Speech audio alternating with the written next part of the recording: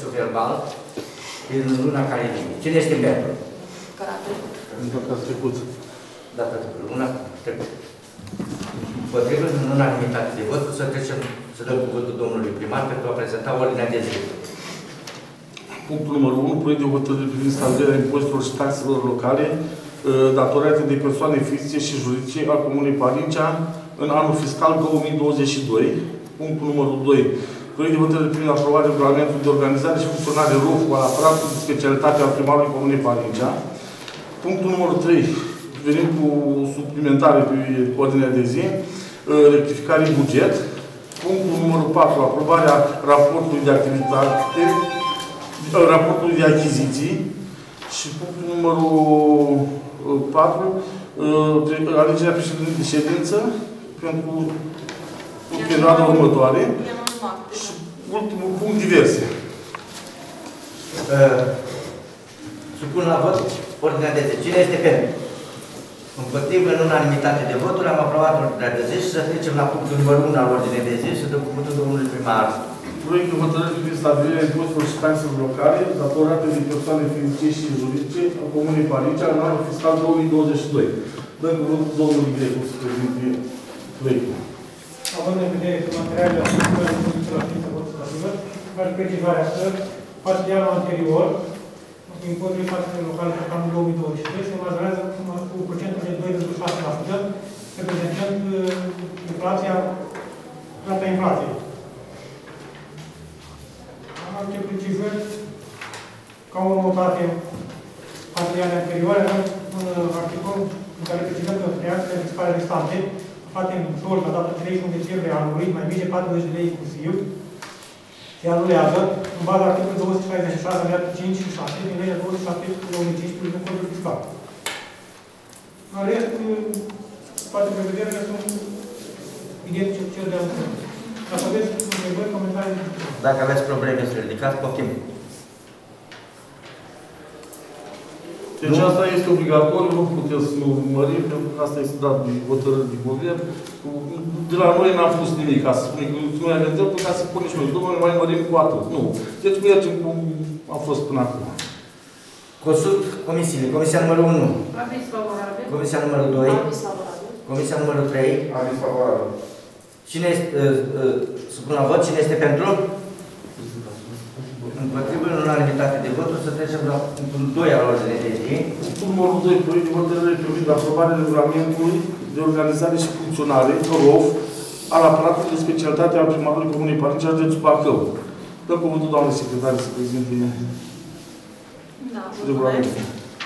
Uh, Având în vedere că la ședința anterioară am adoptat hotărârea numărul 61, prin care s-a aprobat organigrama și statul de funcții, se impune actualizarea regulamentului de organizare și funcționare la gradul de specialitate. În material ați regăsit uh, actualizarea în ce privește compartimentele. După aprobarea acestui regulament, noi o să facem prin dispoziția primarului regulamentul de ordine interioare. Sunt documente de lucru ale instituției implicit necesare. Dacă aveți întrebări, vă stăm la dispoziție.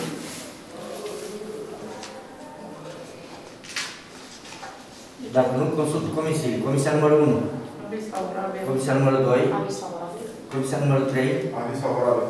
Supun la vot, cine este pentru? Împotrivă, în unanimitate de voturi, trecem mai departe. Domnul primar. Punctul numărul 3, rectificarea bugetului, dă cuvântul domnului Grecu Vasile. Da. În baza hotărârii de guvern numărul 1264 din 2 decembrie 2021, am primit sume de la sume de alocat în TVA pentru echilibrarea bugetului local, 250.000 de lei, pe care noi vrem să-i propunem să punem la rectificare la obiectivul de investiții în fixarea stimulului de apă uzată și canalizare în Comuna Parincea. Cam aceasta este o rectificare.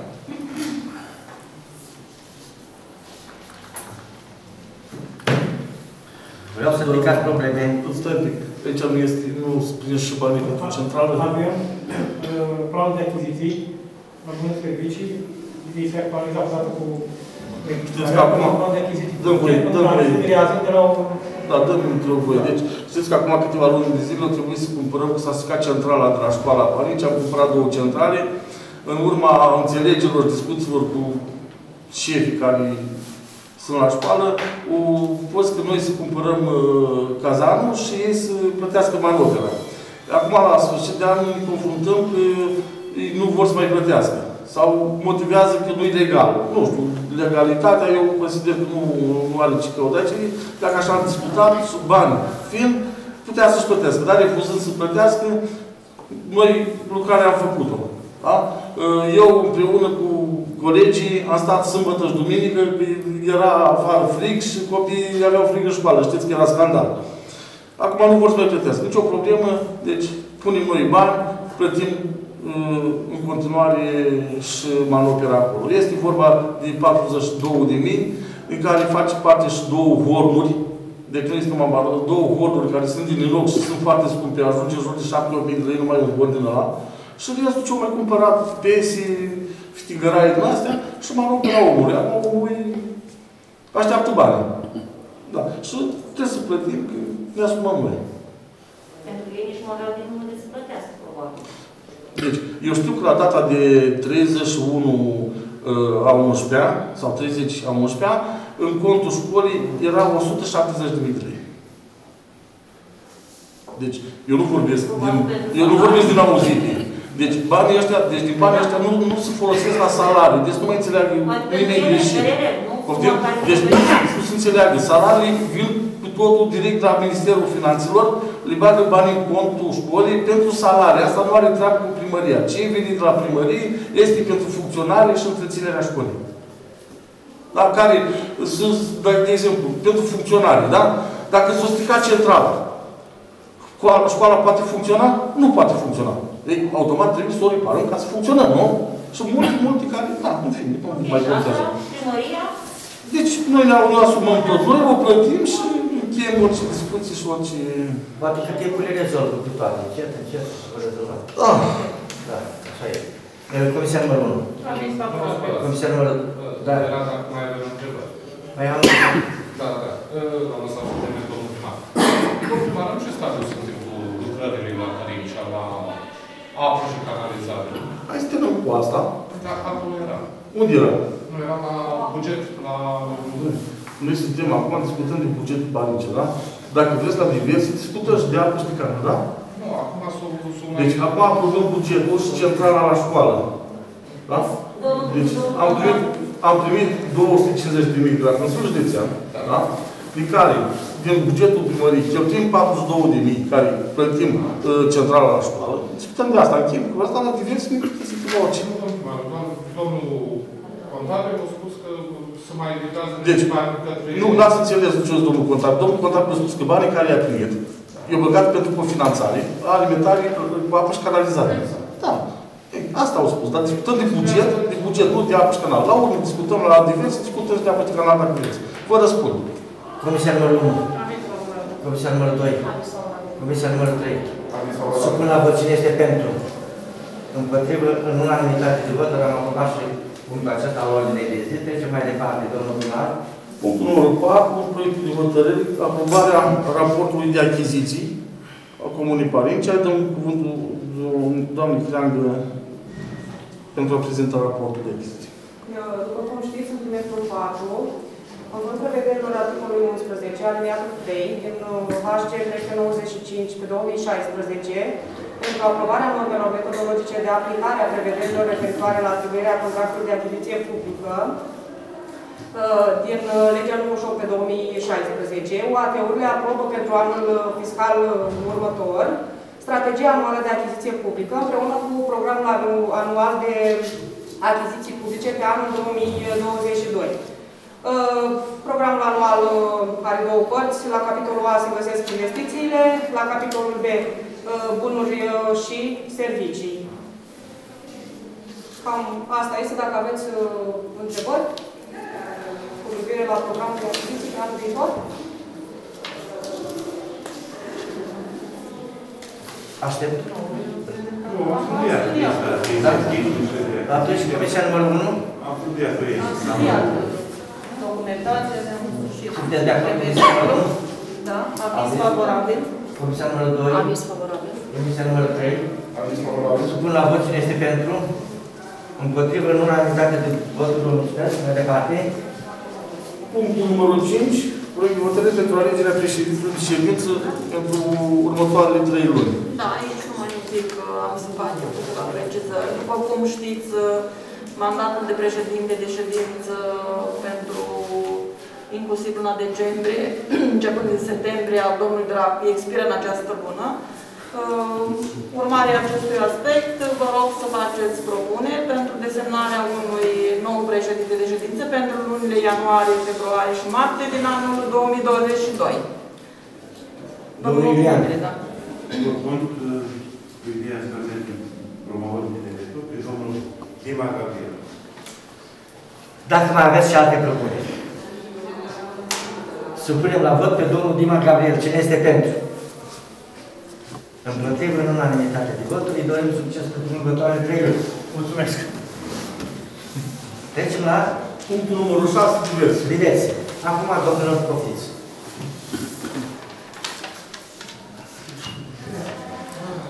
Da, deci e, să vă răspund la...